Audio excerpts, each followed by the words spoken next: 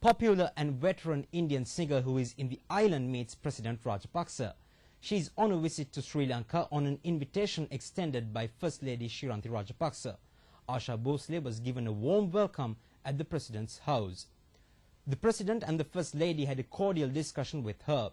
She entertained the President and the First Lady with her much popular song Churalia.